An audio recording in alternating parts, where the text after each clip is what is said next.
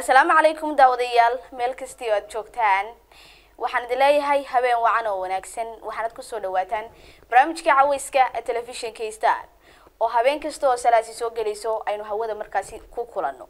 Barnaamijka toddobaadkani su'aasha lagaga hadlayo waa guurkii hore ee dhaqanka soomaalida iyo kanimka casriga. Maxay ku kala duwan yihiin? Asxaab fara badan ayay ka soo dhiibtay fakarkooda bartaanu ku leenahay facebooka sidoo kale waxaanu mikrofoonka la dhex marnay qaar ka mid a bulshada ku dhaqan magaalada hargeysa oo iyaga laftoodu fakarka ka dhiibtay barnaamijka. Sidoo kale waxaynu markaasi barnaamijka ku daawan doonaa muuqaalo kala duwan oo markaasi riwaayada ah oo ka sheekeynaya guurkii hore iyo guurkii dambe bal hadda waxay ku kala duwan yihiin. Sidii caadada ahay daawadayaal waxaynu ku furan doonaa barnaamijka. Muuqaal ka mid ah muuqaaladii laga soo duubay daawadayaasha. Daawasho wanaagsan wallaahi guurka imika iyo guurka hore. Marxalad weyn baa jirta. Guurka imika waa aad wanaagsan ya guurka hore aad buu qaali ahaayo aad buu xumaa geel yaar iyo wax noocaas iska bixin jiray ya laakiin guurka imika ay ka wanaagsan dhalinyaradu jabiyan isla baxsadkan iyo noocan aad buu wanaagsan guurka imika aad baan soo dhaweynay guurka imika fiican haa maasha allah anuu maanta gabadh baan leeyahay guurka imika sidan imika si fiican baan ku helay alxamdulilah guurka imika aad wanaagsan marka baxsadkaa doonaysaa haa aad iyo aad buu farinasta aad buu fiican guurka hore waayo geel iyo noocaasi dee dhaqan baa la aaminsanaa laakiin imika sidan baa wanaagsan waagaag daawadayaal haddii aan soo qabto ka qayb qaataha koowaad caawa nasiib yeeshay inuu barnaamijka ka qayb qaato. Daawadahani magaciisa ma uu sheegin iyo markaasi halka uu joogo balse waxa yihi waxay ku kala duwan yihiin waxyaabo fara badan oo ay ka mid yihiin buu yidhi meherka oo imika markaasi lacag badana berigii hore meherku wuxuu ahaa buu yidhi fardo geel iyo wixii la mid ah. Sidoo kale waxa uu yidhi waxay ku kala duwan yihiin berigii hore buu yidhi marka aroosyadu markaasi ay dhacaan. Ardaaga ayaa markaasi geed hoostii lagu meherin jiray. Halka imika buuri markaasi la tago hoteelada waa gabadh magaceedu waa umu subeer. Waxayna tiri waxay ku kala duwan yihiin. Qimihii haweenku lahaayeen waktigaasi oo aan imika markaasi jirin. Caawa aad ayaan idinka raaligelinayna daawadayaashu. Halkani kuma ay xusin halka ay joogaan balse magacooda iyo fakarkooda ayay ka dhigteen. Waxaan daawadayaasha markaasi ku baraarujinayaa qofku markuu barnaamijka ka qayb qaadanayo magaciisa iyo halka uu joogo inuu markaasi israaciyo kadibna uu su'aasha markaasi ka jawaabo. Si aynu u fahano daawadahaasi bal haddii uu gobol joogo haddii uu markaasi caasimada joogo iyo haddii meelo kale oo markaasi waddamada caalamka uu joogaba. Daawadahani waxa uu yihi magacaygu waa xamse ducaale xamse waxa uu yidhi marka la eego guurkii hore iyo kan imika waxa uu yihi guurkii hore waxa uu kaga duwanaa xagga heerarka oo wuxuu yihi markaasi dumarku bulshada dhexdeeda waxay ku lahaayeen qiimo weyn. Isla markaana way adkeyd buuri in gabadh si dhib yar lagu guursado.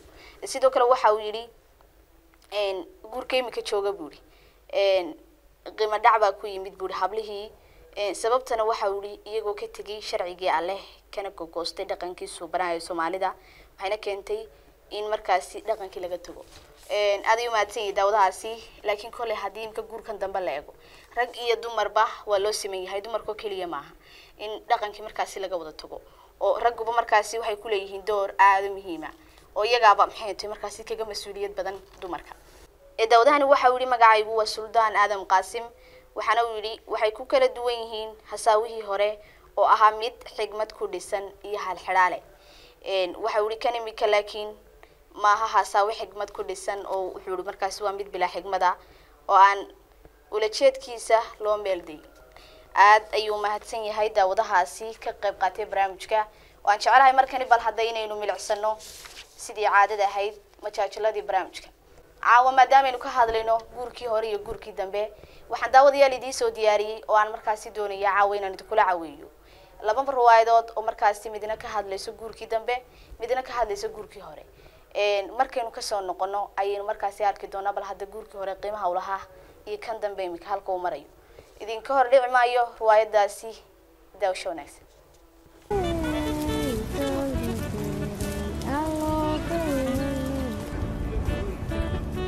Inantaa waan ku salaamay? Aniguna sidoo kale.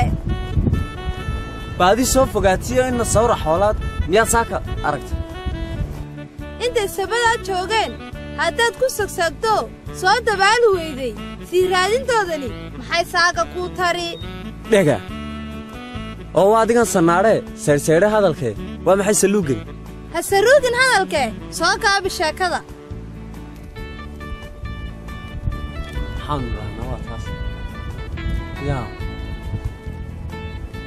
Waayahe waayahe sideedaba. Heedee maxaad soo wadataa xaajo soo jireenaba sahwi igu abuurto saaka aan kuu wadaayo sahan baanu ahay guur oo halkuu ku siman yahay. Ay ku- dee adigu ku sugan yahoo sinaba kuma dhaafsana. Carre laga susumayoo sanku neefla jirin baad sacbada ka tumataaye sintaa bidix bal iga dhaf salka maadu yar dhigi maya maya ee ka sii soco adigoo sindheera baan dusha kaa suntadayo intaa kuu sabraayey soo noqon labaad iyo ballan sugan u ballisiisi ilaan sidaan kaaga dhaqaaqi maaye ballana haa ballan sugan isiisi ballan sugan haa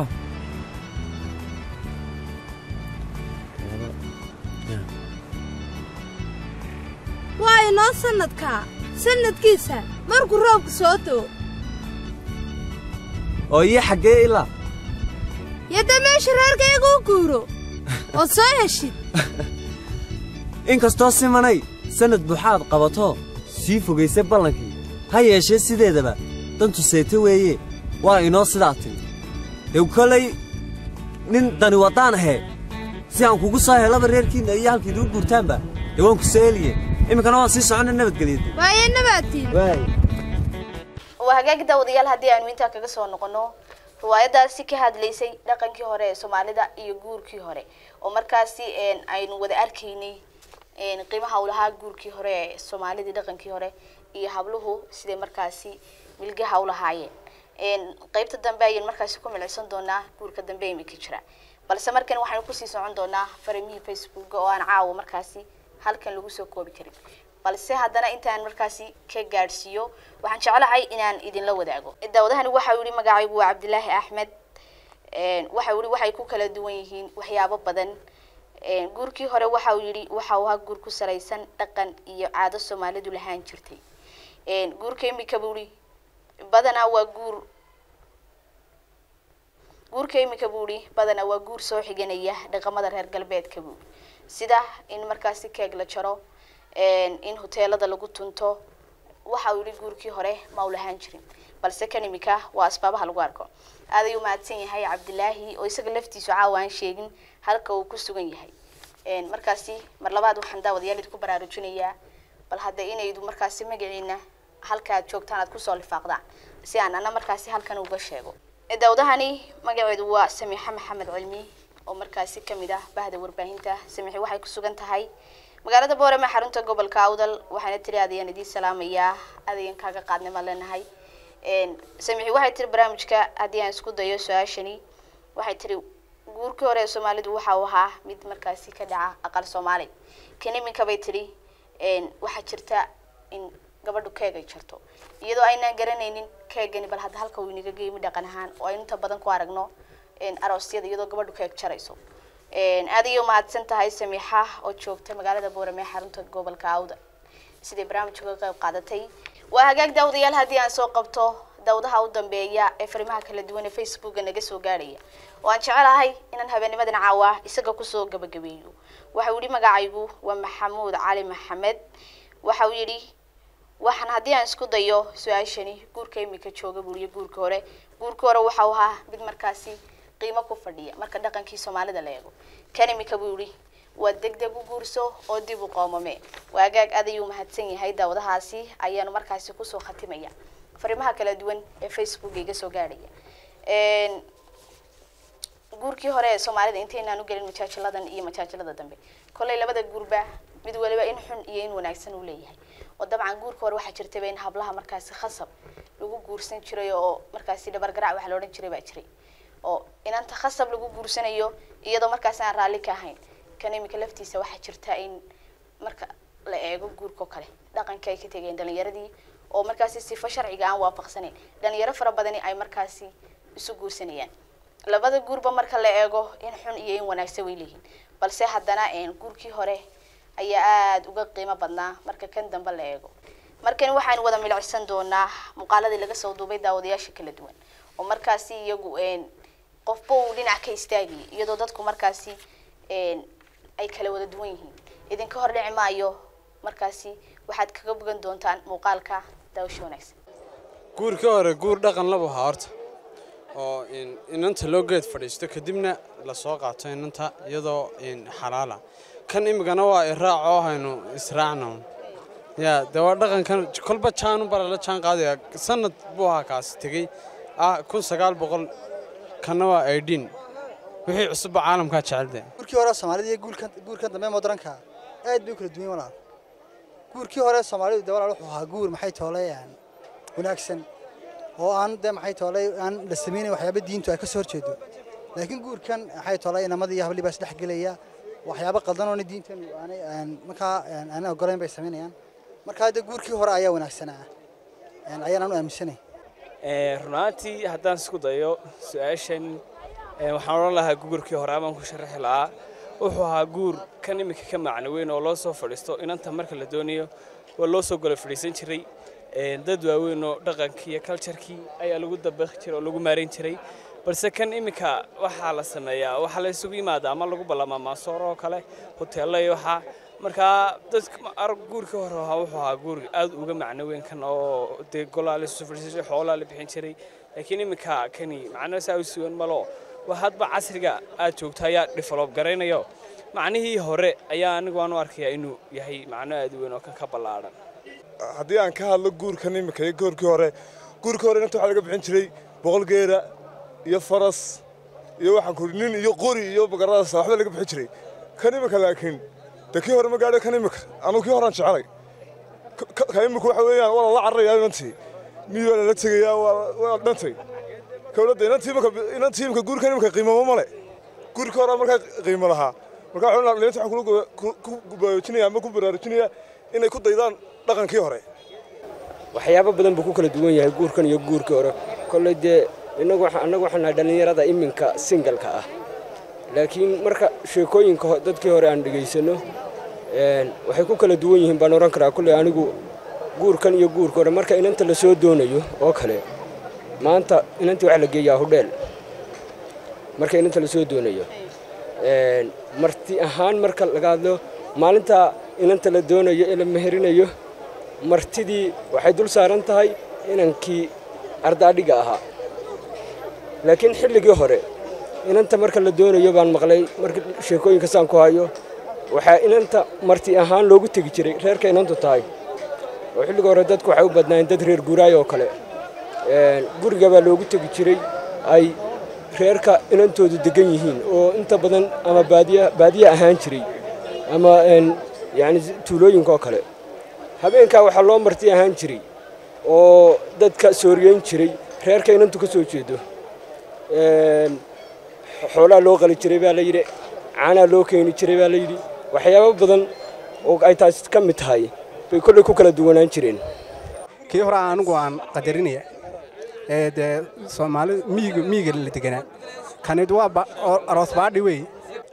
Malahaygu waxaan is leeyahay guurkii hore soomaalida wuxuu u badnaa guur reemiyi. Marka marka odaygu ama gabadha uu guursado ama ninka dhallinyarada markuu gabadha guursado badanaa gabadhuna waxay ku hoolan jirtay dhinaca guriga ninkuna waa dhinaca geela iyo xoolaha. Horta iyo hadda haddaan u fiirshana een, guurka hadda jooga badanaa waa ka duwan yahay sidoo kale magaala la soo galay. Een difference ku dhexeeyana waxa weeye sidan hadda malaynayo waxa weeye wax difference weyn ma ahan laakiin waxa weeye dhinaca shaqada iyo dhinaca iyo dumarka oo isku dayaya in dhinacii ragga booskooda ay buuxiyaan. Taasoo ay rabaan inay shaqo helaan ay masruufka wax ka bixiyaan sidoo kale waxaa la taaban karo laga sheegi karo waxa weeye. Hadda waagii hore ninku markuu reerka ka maqan yahay ama uu ka dhinto gabadha waxaa dumaali jiray walaalkeed ama cid ay qaraaba yihiin.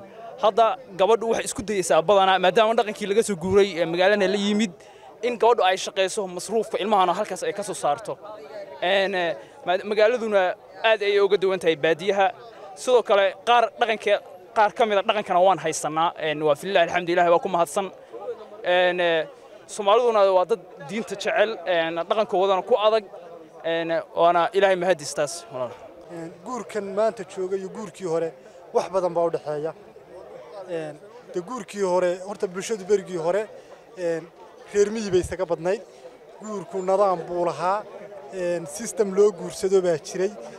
Gabadha waxaa la odhan jiray reerkee bay ka soo jeedaa. Hooyadeed waa ayo.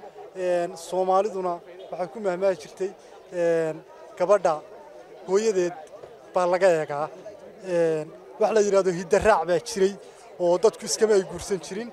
Reer ahaan waxbaa la asal raaci jiray dhaqan ahaan waxbaa la asal raaci jiray gabadha waxbaa lagu asal raaci jiray. Een, gabadha marka la ardaa dhigayo laba qabiil baa iska arki jirtay laba reer baa iska arki jiray. Waxaa la samayn jiray reerka ardaadhig baa loogu iman jiray. Kolka ardaadhig loogu yimaado waxaa dhici jirtay ardaaga waxaa laga samayn jiray meel guriga ka go-an oo ay soo fadhiisan jireen qolada gabadha doonaysa. Ardaagaasaa la isku qaabili jiray waxaa jiri jiray wax la yidhahdo gabaati gabaatiga waxaa ka mid ahaa fardaa waa la bixin jiray geela waa la bixin jiray. Daawadayaal haddii aanu intaa kaga soo noqono muuqaaladaasi kala duwanaa iyo jawaabahaasi aadka u kala fogaa oo aad arkayseen qofba inuu markaasi labada guur mid uu lahaa kanaa wanaagsan midna lahaa kanaa wanaagsan. Kolay een, waxaynu markan soo gaadhnay gabagabadii barnaamijka. Ee habeennimadana caawa inoo soo taxnaa barnaamijka waxaynu ku soo xidhanaynaa riwaayad ka hadlaysa. Guurkii dambe san horeba idinku soo sheegay waan idin lahaa. Waxayna hadheen riwaayadii guurkii dambe ka hadlaysay. Caawa iyadaynu ku xidhanaynaa riwaayad ka hadlaysa guurka dambe imika jira. Daawashoonaysa oo saaxib maanta halkeebataysa maanta? Gabadh baan soo mehersanayaa oo saaxib ma gabadh baa adi ku yeeshay? Haa gabadh baa yeeshay. oo maxaad ku tidhi? Waxaan ku idhi i love you. oo saaxib haddaan ku idhaa i love you miyay jeclaanaysaa? Haa way ku jeclaanaysaa. oo way ii yeelaysaa? Haa oo waan guursanaya? Haa oo saaxib maxaan ku idhaa? Waxaad ku odhanaysaan i love you. Hadda baldhaha waar laf maahe waa loof jacayl xubbi kalgacal. I love you oo saaxib haddaan ku idhaahdo waan ku jecelahay. Amay hooyadeed ii sheegtaa hooyadeedna hooyada ii sheegta. Ee halkaasi ceebi ka dhacda. Maya halkaasi wax ceebi kama dhacayso. Waayo habluhu iyagaaba taagan istaanka. Cid kaxaysoon bay doonayaanoo horay kaa raacayaanba. Waaryaa waaryaa dadka hawaalin waxaad gabadh ku guursanaysid. Maad ku arid baxdid adigoo shari sugaa soo ammaanaysanaya midda kale musaacaha quraaca yar iibsano siduu noo goodanaya waaryaa dadka hawaalin saaxiibayaal idigana idinla taliya ninka dhanxiirku yaana idi waaline weli maydaan qaangaadhine dugsiyadiin iska dhigto waxbarashada adkaya waaryaa waaryaa reerka bajada kala baxa. Waar orod orod orod. Jacaylkaanu waxba ka garanayni. Waa dhoorre saaxiib imika in yar baan sugayaa gaadhi baan imanaya gabadhi baan kaxaynayaa sheekh baan u geynayaa waa laysoo meherinayaa. Markaan dib u soo noqdo anigaa hawshiinan guda geli doonaa. Sidaasay noo ahaanaysaa saaxiib waayda saaxiib naga warhay naga warhay. Yaa alla cawadiisa isagaaba gabarh soo mehersanaya. Waaryaada waaryaadeen waa kuwa qeyrkan guursanayaane. Namarshi aniguna magaalada habloo doonana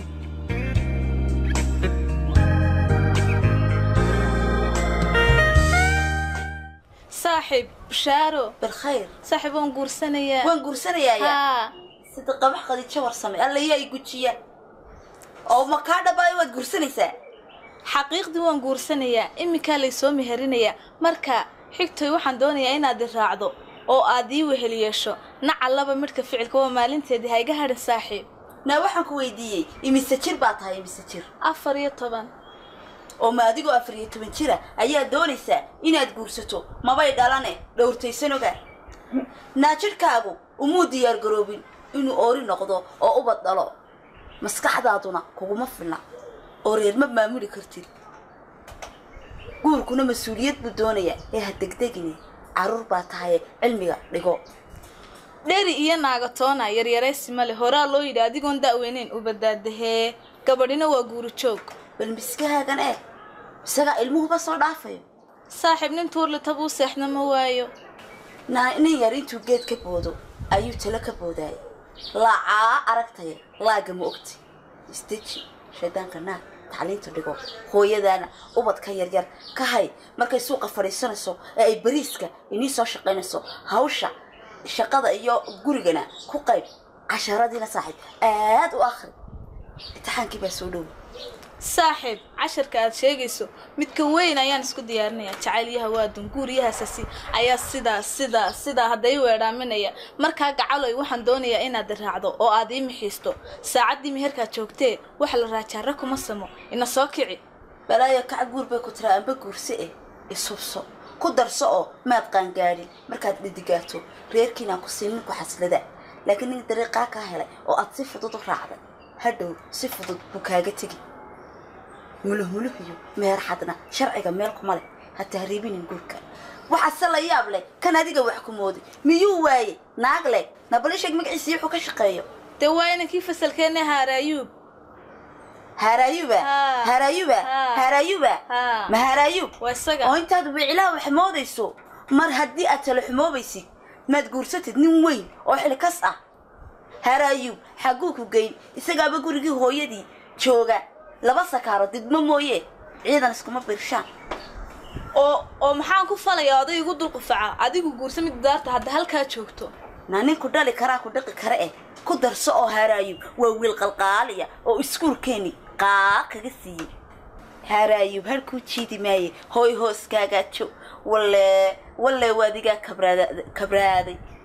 Saaxiib isagu anu anu anigu waa warqaad ayaan ahay isaguna waa xilaseemad waanan isa soo xulanay. Kabaraadina maayo kablalixina maayo may raacaysaa saaxiib isdeji iska joog. Shaydaanka iska naar naftaadana ahaligi oo ha qiimo tirin. Waan kuu turayaa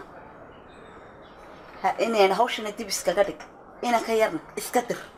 Waa kuwa qayrkii. Shabadaanta halkaa ku ciyaar orod soo ciyaardhay adiga yuu hawl kaa dhigan ha fududaan naa garbar ma baahniye may raacaysaa isubso hooy isubso may raacaysaa garbar ma baahni anuuye ma waxaan kulahay mana ku maqlayn dee nabaday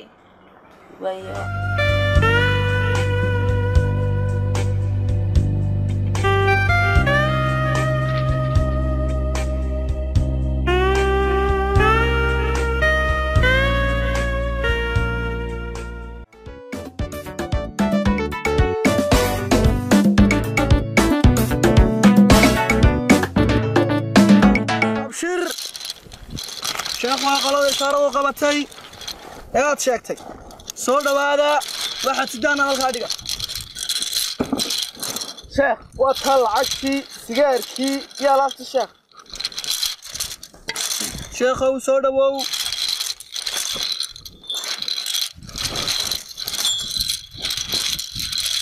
gacantaada midig shiikow dhiib iku meheri طلقتها رجعتها. رجعتها. نكحتها. نكحتها. كسرتها. كسرتها. قتلتها. قتلتها. أكلتها. أكلتها. قيتها. قيتها. أكلتها. أكلتها. أزر.